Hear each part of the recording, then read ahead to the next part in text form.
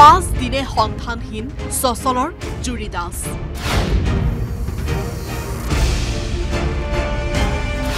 উত্তৰ গুৱাহাটীৰ পৰা ক'ত হেৰাল মহিলাগৰাকী? নিৰুদ্দিষ্ট মহিলাগৰাকীৰ চি চি টিভি ফুটেজ উদ্ধাৰ।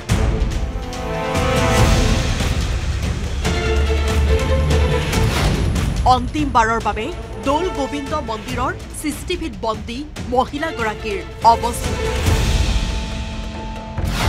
অশ্বক্লান্ত দেৱালয়ৰ বিষ্ণুপথত উদ্ধাৰ মহিলাগৰাকীৰ মোবাইল আৰু বেগ। চিকিৎসক পত্নীগৰাকীৰ বেগত পালে কেৱল দৰৱ। যিমানেই সময় বাগৰিছে সিমানেই গভীৰ ৰহস্যৰ মাজত সোমাই পৰিছে মহিলাগৰাকীৰ নিখোজ হোৱা ঘটনা। তীৰ্থস্থান দৰ্শন কৰিবলৈ আহি সন্ধানহীন হৈ আছে জুৰি দাস নামৰ মহিলাগৰাকী। বহু বিচাৰ খোচাৰ কৰিও পৰিয়ালে সন্ধান লাভ কৰা নাই।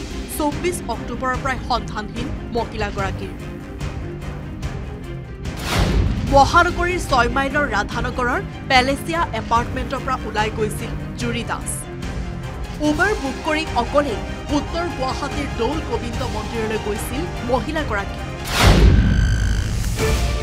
এপাৰ্টমেণ্টৰ চি চি টিভিটো পোৱা গৈছে উবেৰত ওলাই যোৱা দৃশ্য।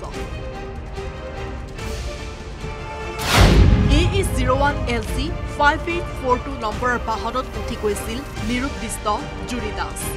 উবেৰখনৰ চালক মাৰিজুল আৰমানক সোধা পোছা কৰিও আৰক্ষীয়ে নাপালে কোনো সুসূত্ৰ উবেৰ চালকক কেৱল নিয়ম মাফিক সোধা পোছাতে সীমিত নেকি তদন্ত? মহিলাগৰাকী সন্ধানহীন হৈ থকা ঘটনাক লৈ অব্যাহত চাঞ্চল্য প্ৰতিক্ৰিয়া। দৌল গোবিন্দ মন্দিৰৰ চি চি টিভি ফুটেজ উদ্ধাৰৰ পাছতে উত্তৰ গুৱাহাটীত উপস্থিত হয় পৰিয়ালৰ লোক। মহিলাগৰাকী দুষ্কৃতিকাৰীৰ কবলত পৰাৰ সন্দেহ পৰিয়ালৰ।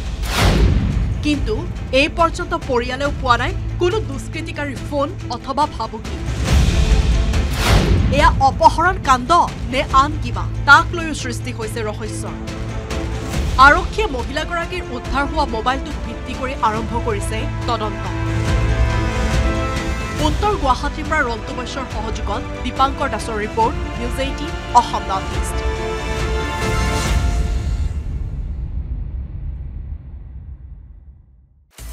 আপুনি বিচৰা বাতৰি পাব কেৱল নিউজ এইটিন এপত। নিউজ এইটিন এপ ডাউনলোড কৰিবলৈ স্কেন কৰক এই Q R code. Google play ষ্টৰতো পাব এই নিউজ এইটিন এপ।